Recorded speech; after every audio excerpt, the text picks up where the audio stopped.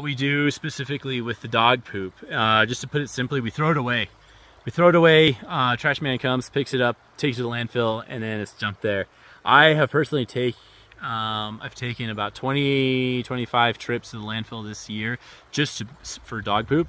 Um, and it's so heartbreaking, you know, I, I, feel a little guilty leaving the dog poop there and then um, you get this huge earth moving machine that comes and buries it. And that's our solution as a, as a human race um, the most popular uh, way we control trash is by simply burying it, creating these artificial mountains made up of trash, and which is really unfortunate that we can't uh, think of a better solution. But yeah, anyway, you know, with that in mind, last year, I don't know if you remember, for those of you that saw that video, we started using these burlap bags. So the uh, biodegradable.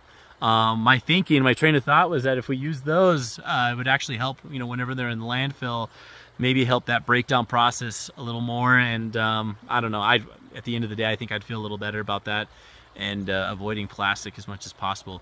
In the winter, we do have to use plastic. Um, if you imagine the burlap bags, you know, they're really breathable. And if we were to use them in the winter, it'd be very, very hard to contain the, the dog waste. I think it'd just seep through with the snow, seep through the holes of the bag and drain down the runway, or excuse me, the, the yard and just create such a mess. But you know, as as a as a landowner, as a business, excuse me, not a business, uh, a kennel owner, uh, you know, caretaker of dogs.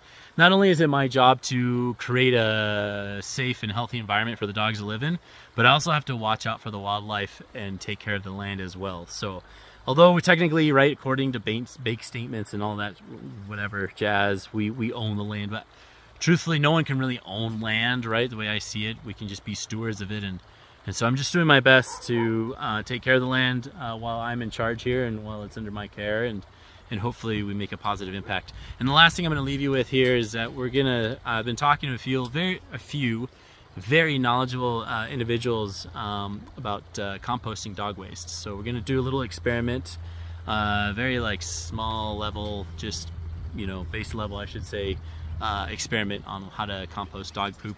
I'm excited. I'll keep you guys posted on how that goes. Uh, it can be done, but it has to be so meticulous. You have to really know what you're doing and, and um, keep an eye on what what uh, what you do with it. So it's not like horse manure. But anyway, guys, that's that's kind of what we're looking at. Hope you guys are doing well, and I'll keep you posted about the composting. Wish me luck.